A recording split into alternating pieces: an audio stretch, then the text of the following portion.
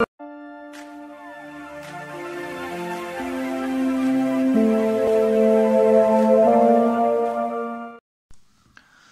अभी ये हंड्रेड यहाँ पर आ गया है।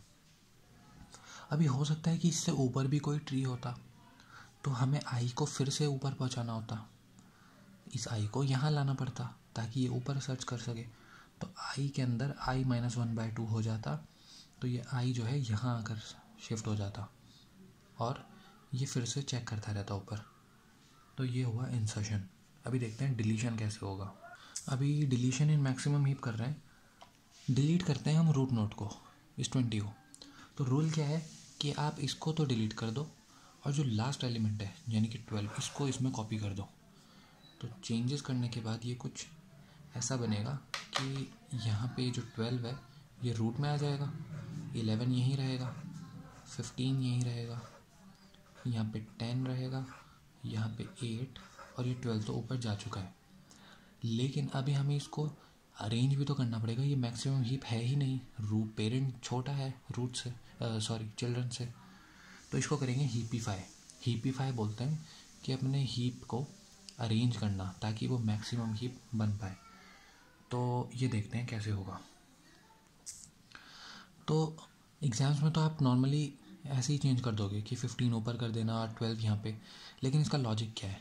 लॉजिक ये है कि देखिए, ये इंडेक्सेस हैं। Indexes zero one two three four ये इसके इंडेक्सेस हैं। तो ए ऑफ़ ज़ीरो के अंदर मैंने ए ऑफ़ अच्छा ये फाइव होता है इंडेक्स अगर ये वाले की बात करें ए ऑफ़ फाइव रख दिया।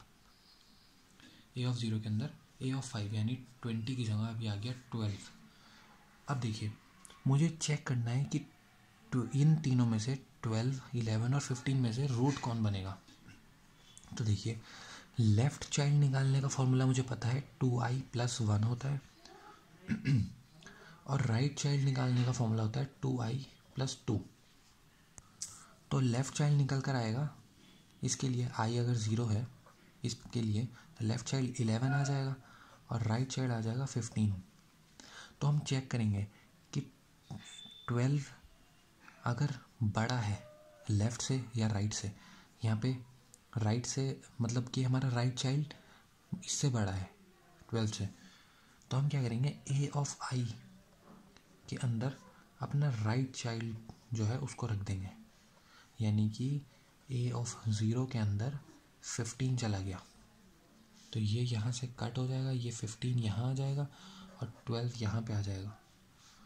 लेकिन अब आप एक चीज़ देखिए ये तो चलो हो गया हीपीफाई सही बन गया हीप हमारा। अगर इसमें और एलिमेंट्स जुड़े होते तो क्या होता? अगर यहाँ पे ये एट और थर्टी भी जुड़े होते तो अभी ये मैक्सिमम हीप नहीं है। इस थर्टी को यहाँ लाना पड़ेगा। तो हम क्या करेंगे? हमारा आई यहाँ पे रखा है। हम आई को पहले यहाँ ले आएँगे। तो आई के अंदर मैंने डाल दिया आर सी राइट चाइल्ड की पोजीशन तो आई आ गया यहाँ पर। अब ये आई यहाँ से कट हो गया। अब आई यहाँ पर है।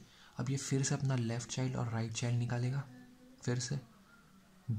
और ये चेक करेगा कि अगर राइट चाइल्ड या लेफ़्ट चाइल्ड इससे बड़ा है तो ए ऑफ़ आई यानी कि ए ऑफ़ टू के अंदर वो अपना वो वाला चाइल्ड रख दे। इसमें राइट चाइल्ड है तो थर्टी चला जाएगा। तो यहाँ ये कट होकर थर्टी हो जाएगा और यहाँ हो जाएगा ट्वेल्व तो इस तरीके से हमारा हीपीफाई हो जाएगा। Thank you friends for watching this video.